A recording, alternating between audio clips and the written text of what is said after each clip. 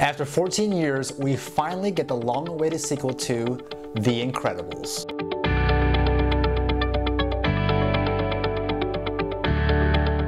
Hi, I'm Isaac and this is Movie University.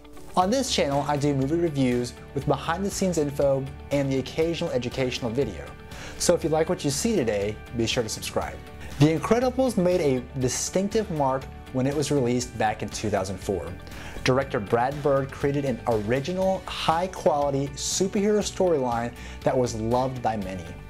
14 years later, the story continues with the Parr family living a somewhat secluded life. Superheroes are given a new chance to prove to the world they are a force for good, with Elastigirl being put into the forefront of a new PR campaign.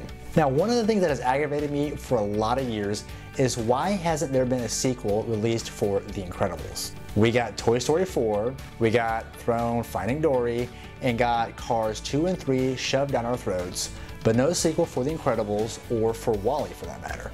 Director Brad Bird has stated numerous times over the years that he did not want to make a sequel to The Incredibles unless he felt it was as good as the first one. After all this time, the wait is over and it has most definitely been worth it. Incredibles 2 is like the first one in that even though it's a kid's movie, there's a slight adult feel to it. A lot of the dialogue, behavior of the characters, and innuendos are geared more toward an older audience, which allows the movie to be enjoyed by all ages. Now, for instance, I feel like a lot of today's movies push a certain political agenda. However, with Incredibles 2, I feel differently. While there are some political things here and there, there are also multiple messages from multiple political viewpoints to get a complete picture. In this movie, Bob Parr is the one staying at home with the kids. This is not because of some role reversal or message that women are as strong as men, but because circumstances in life have required him to stay at home to raise the kids while mom is at work. The scenes at home with Bob can be a little boring, but there are also some of the best in the movie, particularly the ones with baby Jack Jack who we find out has many, many superpowers. You have powers! yeah, baby! You might find the villain here a little flat. There wasn't a whole lot that made this villain stand out from other villains, but I can forgive this since it's a kids movie and all. With all the upper age group talk, your kids might get a little restless, however there are still quite a few friendly kid jokes thrown in and tons of action to enjoy. Bird gives a very nice, fresh look at superheroes in a world where we get four superhero movies a year and countless TV shows about them. Looking behind the scenes, there is still an equal amount that impresses.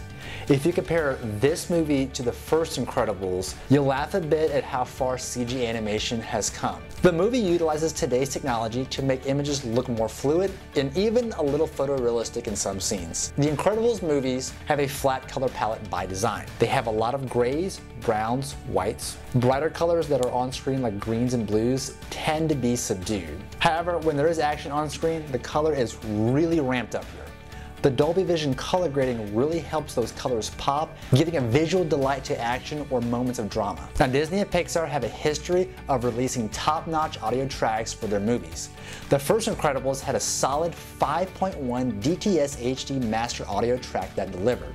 The sequel here is no different. Depending on where you see the movie and what format you'll hear Incredibles 2 in, it is mixed in DTS:X and Dolby Atmos and a few others. The audio is very impressive with great use of surround channels and good bass direction. In my opinion, movies oftentimes put too much bass in action sequences or just for the sake of putting it in there to make a scene feel heavy. Incredibles 2 does not do that, which makes the movie feel much more natural. Hollywood veteran Michael Giacchino brings some good tunes to this flick. You'll recognize his name from scores like movies like Star Trek Beyond, Doctor Strange, Rogue One, Spider-Man Homecoming, and Coco. The mixture of suspenseful Mission Impossible style music with appropriate use of horns gives a very 50s feel to the movie and fits perfectly with what is going on on screen. Incredibles 2 is probably something you'll want to buy to demo off your home theater system with when it comes time to purchase the movie. You got everything under control, right? What the? In a world filled with sequels in which many are nowhere near as good as the first, Incredibles 2 lives up to the hype and is definitely worth seeing in theaters.